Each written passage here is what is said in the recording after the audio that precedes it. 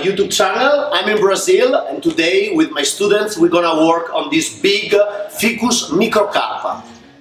End of uh, winter here in uh, Brazil is a very good period uh, to defoliate and rewire on ficus, especially this one has a beautiful power, powerful trunk, already a good structure so what we're gonna do will be a little pruning on some branches that are uh, uh, bad for uh, the type of growth. They grow downwards. You wanna have uh, a foliage going up creating a beautiful and natural canopy.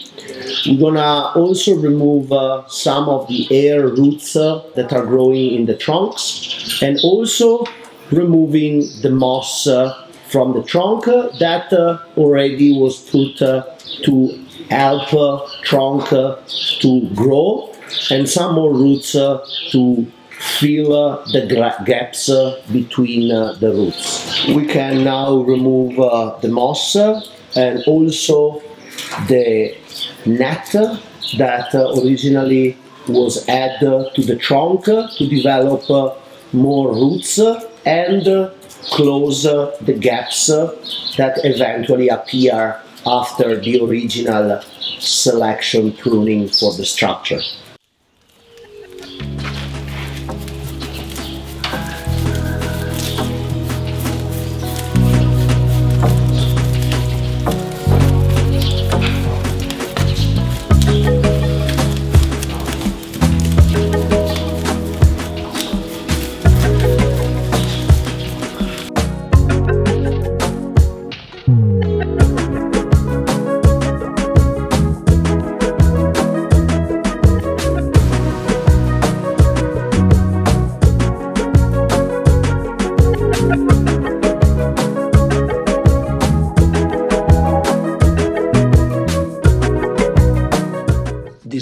Ficus uh, is uh, the result uh, of the fusion of seven trees done about 15 years ago by my client Francisco Correa.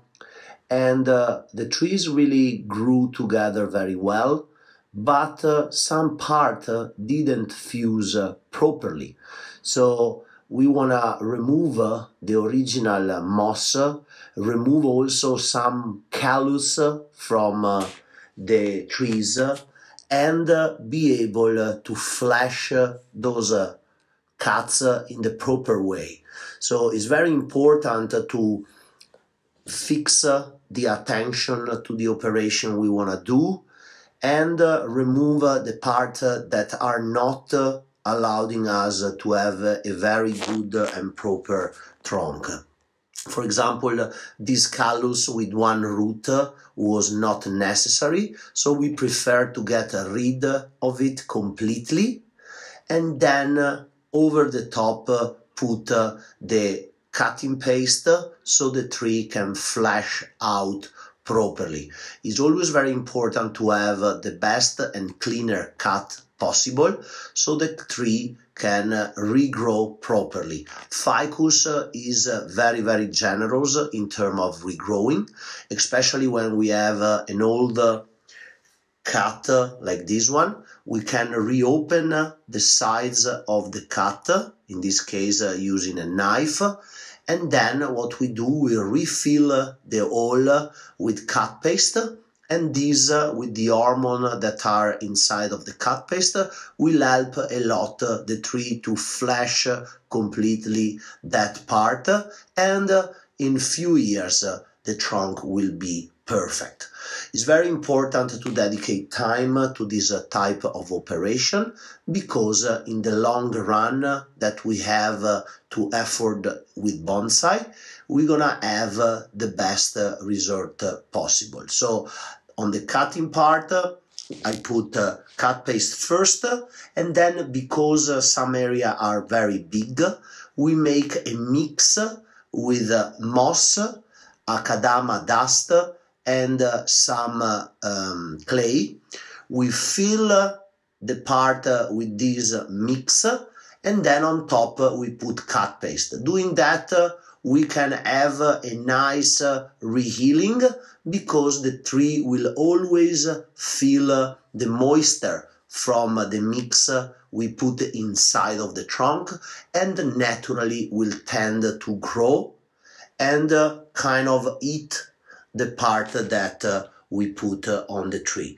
This is a technique that I see used a lot in Asia and it works uh, very very well because uh, it doesn't allow the, moss uh, we put on the tree to dry out so the tree can either create a lot of roots that they eventually fuse together and also reheal properly.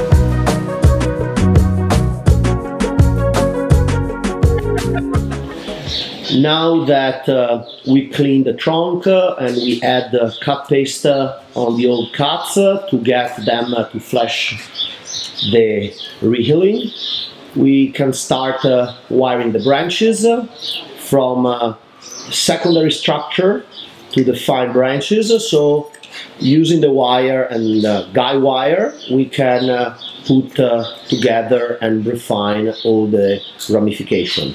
Also some pruning uh, of the branches uh, was done, especially in the right part uh, of the tree, so we can compress uh, a little bit the structure and get uh, a more compact ramification and a more refined and compact design for the end of the work. Thank you.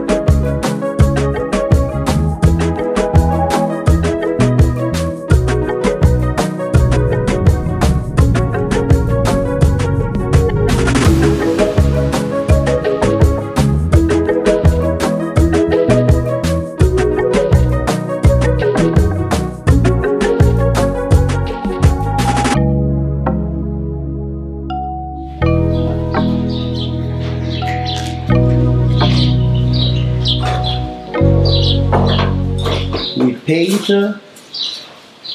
the cut paste with a mix of uh, glue and uh, akadama. So while uh, it will be dry, it will mimic a little bit the color of the trunk of the ficus.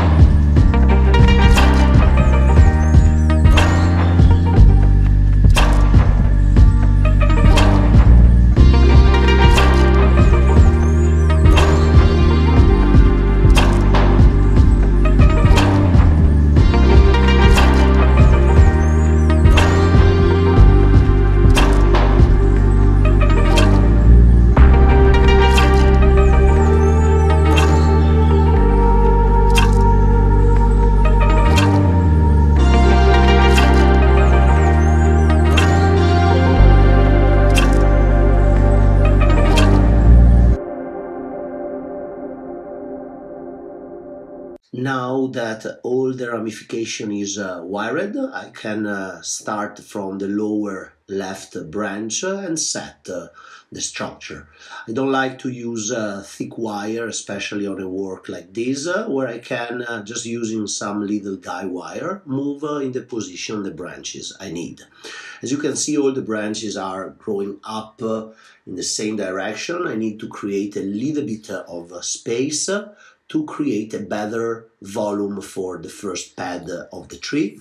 So using some guy wire, I move down some of the lower branches, but always thinking that I want to create this nice waving movement for the branches to look like a deciduous tree. Actually, in this case, a tropical tree that I tend to work as I work a deciduous tree in Europe. So I move down the branches for the second section and then move the end up again so I can build the base of what I like to call not a pad but a nice cloud of green. So starting from this operation, I move up and I try to create a natural look for the foliage of this beautiful tree. This is something we always have to remember when we work on tropical or deciduous tree because uh, the natural look for these trees is very, very, very important.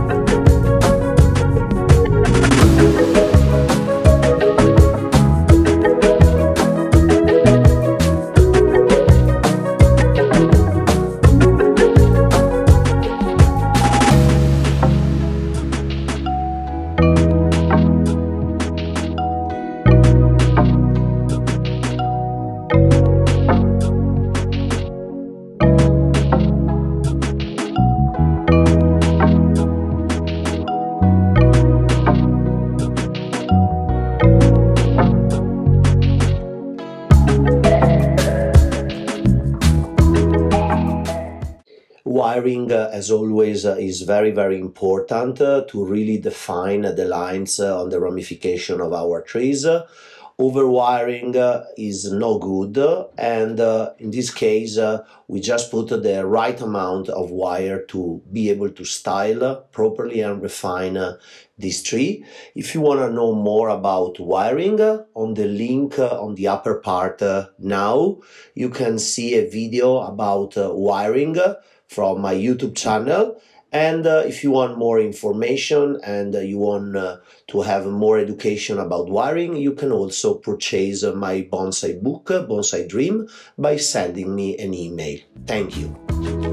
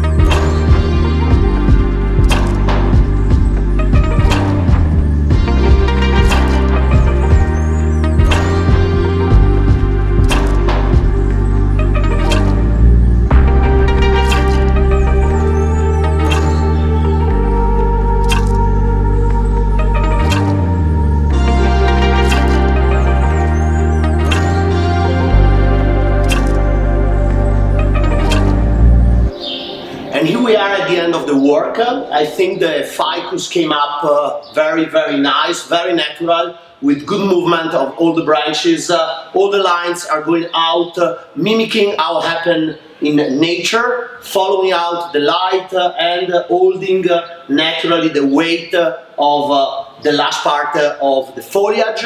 So I want to thank all my assistants that they did a great job today, helping me defoliating, wiring and also styling the tree. Now we put uh, uh the concrete uh, with the muck to you know help the tree to uh, flash all the part that need to grow and we can wait next season and keep working on this beautiful tree.